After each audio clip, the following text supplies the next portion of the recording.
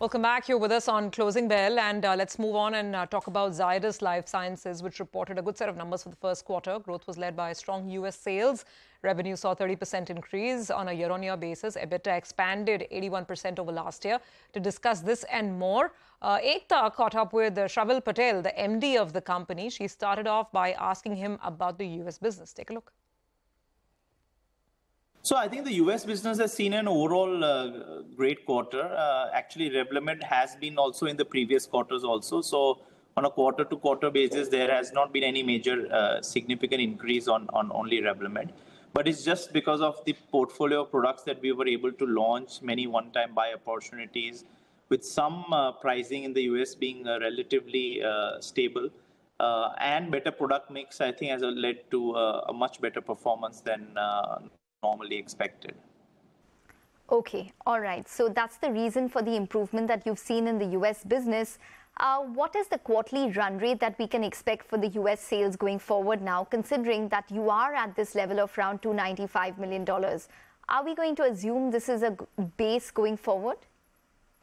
So I think on the US business front, uh, we do uh, strongly believe that over the uh, this coming financial year, we should have a good double-digit growth uh, to the U.S. market, uh, assuming that we will still have competition to one of our differentiated products. So in spite of that, we will see a good double-digit growth to the U.S. business. Okay, good double-digit growth. Is the Pfizer injectable plant uh, getting damaged in the U.S. maybe an opportunity for you all? Um, so I think it's too early to say. The only uh, uh, media reports say that that was most to do with the warehousing and other areas. But uh, so I think I would have no comments on to know whether there hasn't been any impact because of supplies related to this. Okay. Now coming to India, India in fact has grown just shy of 10% this time round. Adjusted for NLEM, what was the growth and what are you guiding for in FY24? So I think the India business has done very well for us. Uh, we have adjusted to NLEM have had a growth of 12%, which is much better than the market growths. And if you take the journey over the last three to four quarters, we have consistently delivered market uh, growths uh, for our India formulations business, which is a large formulations business for us. Uh, and more importantly, I think going forward also, we are seeing good uh, trajectory to this. This is helped by our proprietary and differentiated molecules uh, that we have been able to launch in the in India, and they're becoming more sizable and relevant for us.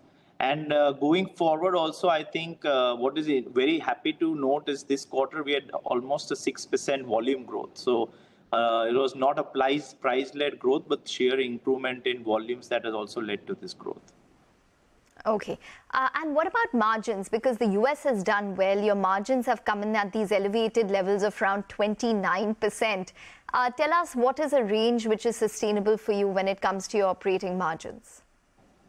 So, yes, we have had a, a significant improvement in margins. And going forward, also, we believe that from our earlier guidelines, guidance, we would see a 150 to 200 basis points improvement in our margins in the coming financial year. Okay, so what is a sustainable level that we can expect? So 24 or 24 plus is something that is sustainable. Okay. Uh, your NCE subsidiary, last quarter the company had made an impairment of around 600 odd crores in Sentynl Therapeutics. What was the performance like this quarter?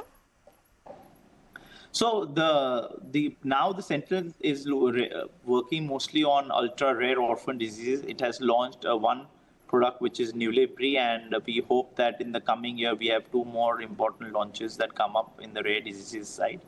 Uh, so the, uh, the scale up is still uh, very early on. I think we need another next two to three years for this business to scale up uh, from its earlier levels uh, after we stopped selling one of the drugs uh, in the last year after genericization.